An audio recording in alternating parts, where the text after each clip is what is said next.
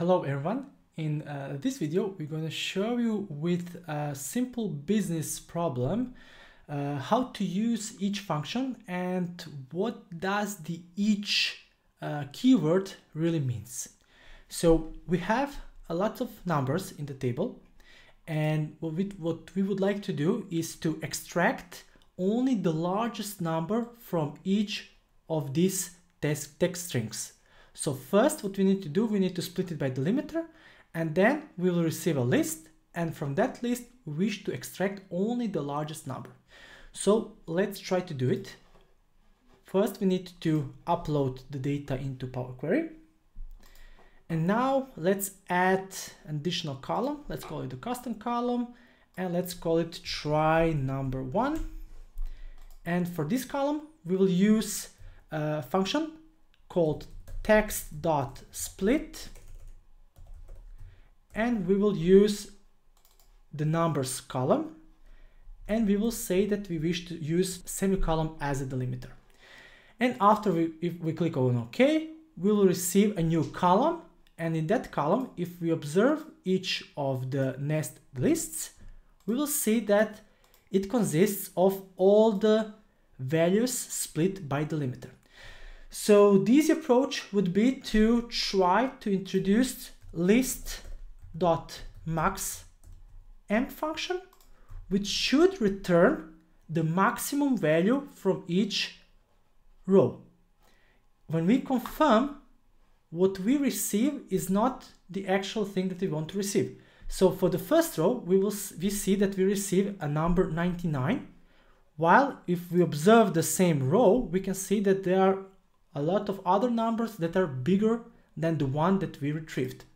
Why is that so?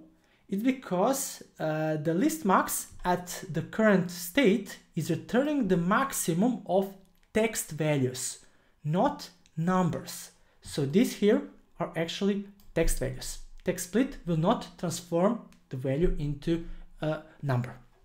So now let's go to uh, let's go to add another custom column. And now we will call this uh, correct correct uh, maximum.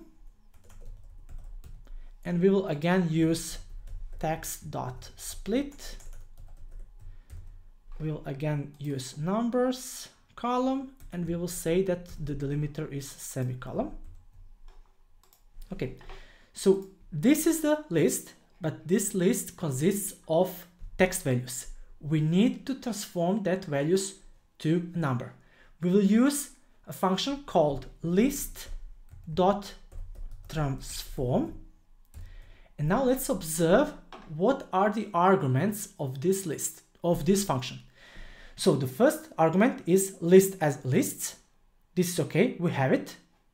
And the second argument is transform as function. Now this is really important. We need to introduce a function as a second argument of this list transform m function.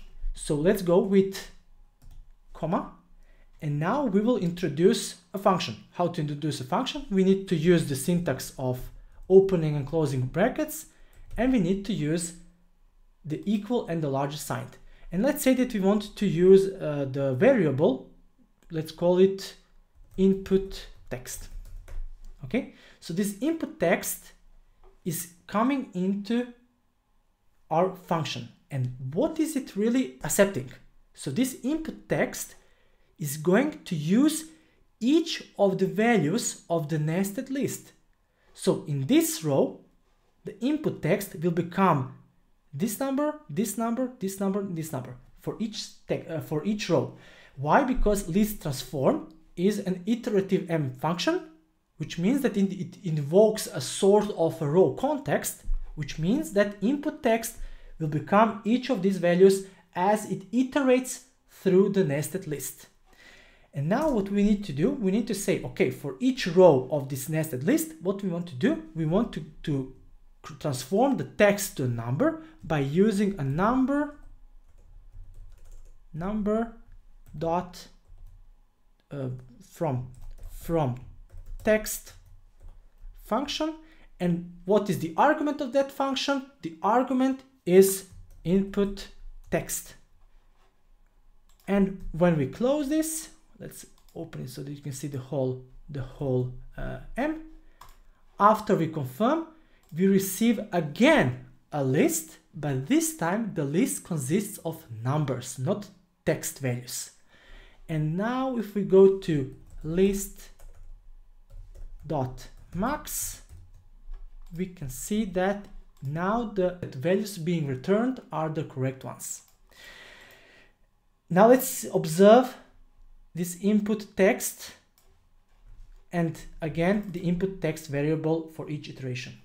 We can replace this with the syntax each and after we replace this with the syntax each, we can call that uh, variable with the underscore.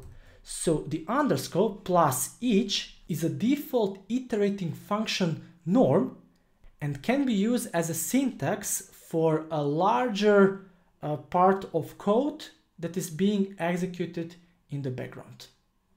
So if we confirm this, everything works just as it worked with the custom function invoke. Yeah, so that was all for this video. Hope you enjoyed it. If you have any questions or comments, please post them down below. And note, this wasn't about explaining you how to uh, extract the maximum value from list because there are better ways to do it but to explain you how does the M engine works under the hood and to explain you uh, what does the each syntax is really transformed into. And yeah, see you in the next video. Bye.